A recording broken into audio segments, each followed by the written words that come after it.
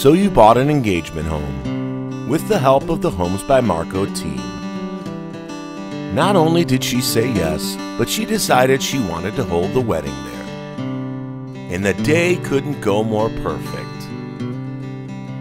And then you realized you forgot to turn off the sprinkler system. And the day got better than you ever imagined.